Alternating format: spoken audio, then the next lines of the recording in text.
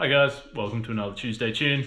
Uh, this week I figured I would talk about some of the compromises involved in suspension and how they arise. Uh, the big one I wanted to cover uh, comes down to different resonance modes. These are probably not terms that most people are familiar with. Resonance, for those who are not familiar, it's basically things are oscillating out of control. So that tends to happen if you imagine uh, holding something on a spring, a weight on a spring, bouncing it up and down. You can pick just the right frequency, the thing will basically bounce out of control.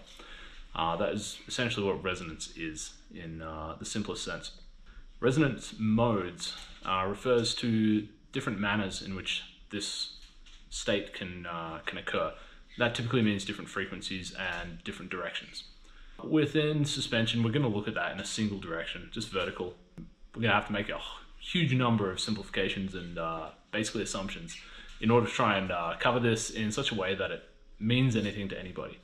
Uh, but basically, what I am going to try to cover, try to explain, is why it is that we seem to have this back and forth between things being considered underdamped and undersupported and overdamped and harsh. The reason is primarily a mathematical one. Uh, there are pragmatic factors that are involved, but it is primarily a mathematical thing. So let's get stuck in.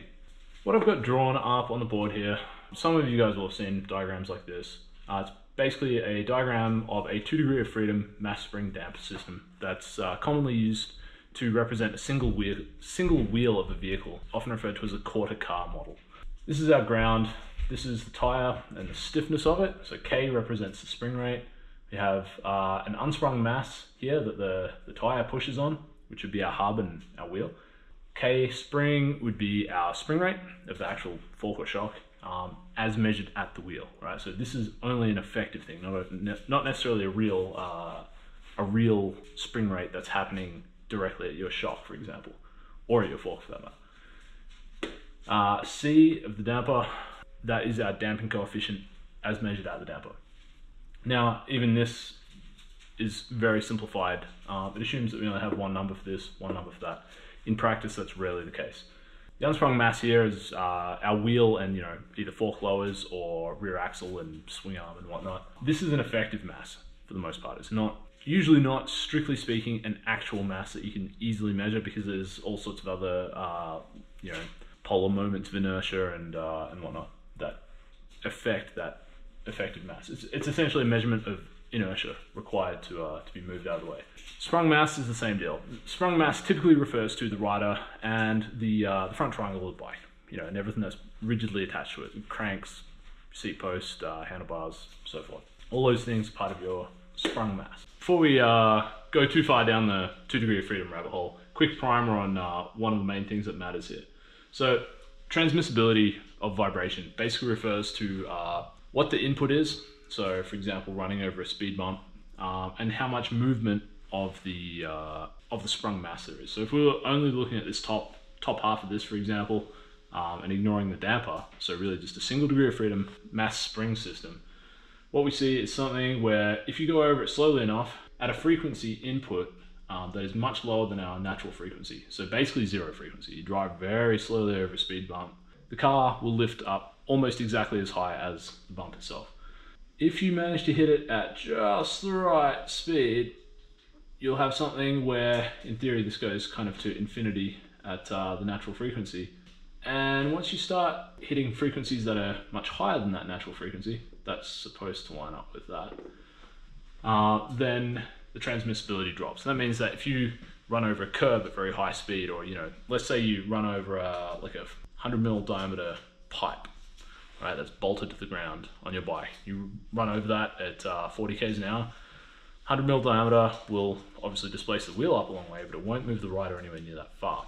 And that is basically saying that once we've created an input that's faster, uh, basically at a higher frequency, than the natural frequency of the system, the transmissibility actually drops. So that means that for 100 mil of displacement at the ground, uh, we're seeing significantly less than that at the rider. That's the whole job of suspension. So in an ideal world, we kind of want everything, all our bump inputs anyway, to be at a higher frequency than our natural frequency for maximum bump absorption. What does that mean? That means we want to make the natural frequency as low as possible. So natural frequency is often referred to as square root of k on m. So this is k, that's m.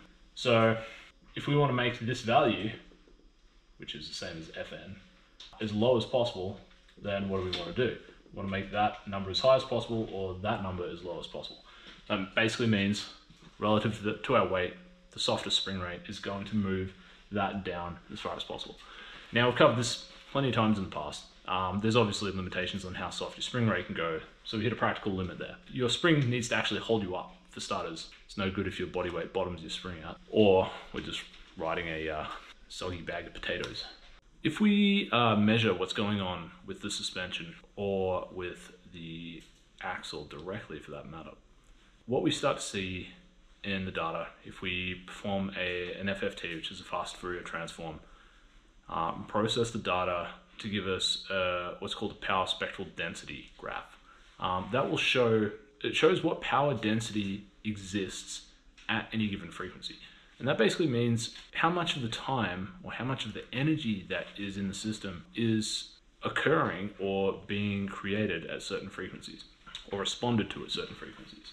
If we graph this, so this is our frequency, so there's a frequency domain, not time, not displacement, not anything else. Uh, we see these two poles, which will coincide with some variation of the natural frequency, which is obviously a damped natural frequency in practice, of the sprung mass and of the unsprung mass. What this basically means is that we have two separate vibration modes. One is the rider and the front triangle bouncing up and down quite slowly, and the other one, if you would imagine that if we flip the bike upside down and whack the wheels uh, from the top down, right, so the rider's lying on his back on the ground and holding the bike above him, and we push the wheels down from there, assuming the rider is relatively rigid, the wheels themselves will vibrate, right? The hub will and the suspension will oscillate up and down. Friction and whatnot will obviously put an end to that pretty quickly, but that the frequency of that vibration is a second resonance mode. So we have two. We have one is the rider bouncing up and down, and the other is basically the resonance of the wheel. There are two main resonance modes. Using the terms primary and secondary can be very uh, misleading here from a mathematical versus a pragmatic point of view because there are other many other resonance modes, right? For example, with forks, uh, and if any of you guys have seen the Pinkbike Huck to flat test, you've no doubt noticed this. The forks themselves will vibrate back and forth at 90 degrees to uh, the axis of their motion, which is in itself another resonance mode. If you're not familiar with the terms critically damped, underdamped, and overdamped, uh, this might all seem like very airy fairy to you. This is explained in one of our previous videos, uh, link will be below. Uh, you can also look up a lot of this on Wikipedia. The page on damping uh, has a lot of the basic concepts in there. Okay, so let's have a quick look at some of the maths behind this. This is a two degree of freedom system. So this K tire value is really only valid while the wheel is in firm contact with the ground. If it isn't, which it commonly isn't on mountain bikes, then that value is not necessarily relevant. The value of uh, like the spring constant of the tire also varies immensely according to exactly the profile of intrusion that we have into the tire. So if you push the tire against a square edge, it's much softer than if you press it against something flat, where it has a much bigger surface area to generate force with. What we're mostly going to look at is the relationship between the unsprung mass, the sprung mass, the spring, and the damper in between them. I'm going to leave this out of it for the moment because the primary way that this interacts is that it adds to the, uh, the spring rate here in order to determine the total stiffness of the spring that is trying to move this. Once again, if the tire is not in contact with the ground, this basically evaporates and stops having any real influence. So let's have a look at a one wheel model. Um, we'll have a look at the rear wheel of a mountain bike. Sprung mass, uh, if we have a total sprung mass of a bike and rider uh, of about 100 kilograms, then the sprung mass being borne by the rear wheel is somewhere around 65 kilos. Uh, the unsprung mass, again, that's the rear wheel, cassette, derailleur, swing arm, and so forth. The inertial components of that, let's say three kilograms.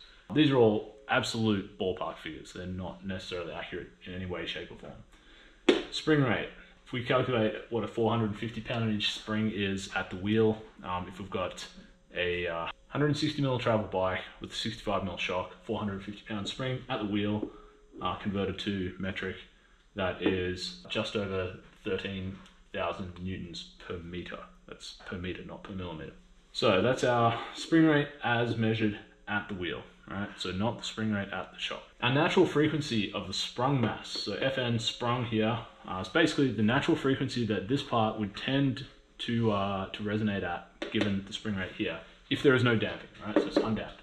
Uh, that would come out to 2.3 hertz, give or take. The natural frequency of the unsprung mass, however, is 10.6 hertz because we're using essentially the same spring rate, right? So again, this is undamped. We're not factoring in what the damper itself is doing just here. But you can see that this is significantly higher than this. Like, in fact, 4.65 times higher than that. If we calculate the critical damping coefficient, right, this is denoted by CC. Uh, for the sprung mass, we get something like 1850 newton seconds a meter. This is a very confusing unit, I realize. What it actually is is newtons per meter per second. Right, so at one meter a second, how many uh, how many newtons you getting? Likewise, if we calculate the uh, critical damping coefficient for the unsprung mass, uh, we get 398 newton seconds a meter. So this ratio is the same. It's basically a ratio of uh, these or these. It's the same same number. What that tells us is that the uh, amount of damping required to critically damp the sprung mass, albeit say 50% of critical damping, so a damping ratio of 0.5, is four and a half times higher than what's required for the unsprung mass. So this gives us an obvious problem. If we were to aim to critically damp the unsprung mass, then we end up with something that is 1 divided by this number, so roughly uh, 22% or thereabouts of the critical damping for the sprung mass. So either our sprung mass is massively underdamped, or our unsprung mass, that's the wheel, is massively overdamped. So this is basically trying to work out what is an appropriate damping coefficient at the damper. The compromise is that we typically end up with something that is significantly underdamped for the sprung mass and considerably overdamped for the unsprung mass in rebound, not necessarily in compression. The reason for this is pretty simple. If the if the unsprung mass is overdamped, so the wheel, it's not typically dangerous. It can lead to harshness, it can lead to problems with the wheel tracking ground, but it isn't actually dangerous. However, having a massively underdamped, particularly in rebound, sprung mass can be dangerous on long travel bikes. It's less dangerous on short travel bikes because they just don't have as much displacement to use to throw you around. They can't store as much energy. This number, or this ratio here really, is a good indicator of why it is that we can't easily we can't easily use standard vibration theory to tune mountain bikes. This is only one part of the the, the bigger picture really because the rider themselves is a, uh, a huge influence on the bike. Um, if it were not for the ability of the rider to actually damp things, damp itself basically, mountain bikes would be fairly much unrideable and we would need a lot more suspension than we have. That would mean basically bringing the, uh, the natural frequency of the sprung mass right down. Uh, and this is why motorbikes, for example, like off-road motorbikes, would typically have uh, around about 300 mil of travel versus typically half to two-thirds that for long travel mountain bikes. Besides the fact that motorbikes don't complain about pedal bob or anything like that, the reason that they need so much suspension is because the rider can't actually damp out anywhere near as much of the movement of the sprung mass as you can on a mountain bike. So that's one thing that works in our favor on a mountain bike. But for the time being, until someone comes up with some pretty clever tech uh, to get around this, we are stuck with a uh, significant compromise between our ability to fully stabilize the bike and to make sure that the wheel is really tracking the ground as well as it can. Properly damping out hub resonance, so wheel resonance, is quite difficult to do. Even though the damper itself is often overdamped uh, for the hub mode, so the resonant frequency of the unsprung mass, it is difficult to accurately control that and minimize those vibrations. And they are a significant part of the total vibrations that the rider feels.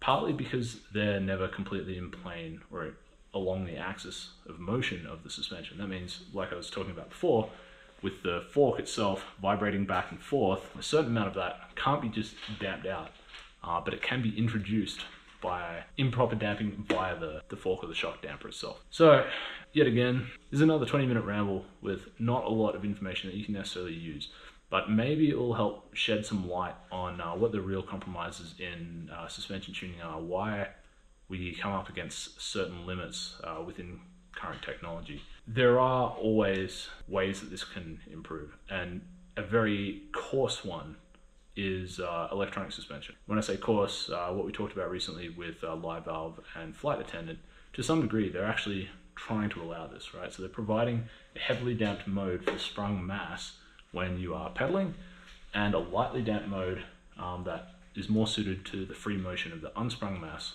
uh, when you are not pedaling. The, the basic implied theory there is that we can stabilize the sprung mass in certain circumstances and allow for adequate motion, free motion of the unsprung mass uh, in certain circumstances. I think as this concept gets developed over time, not specifically electronically, but as this understanding um, of the separation of the two there becomes better understood over time, we'll start to see some pretty interesting things. Anyway, that's it for this week. Feel free to shout into the void in the comments and uh, get some discussion going. Anyway, till next time, see you then.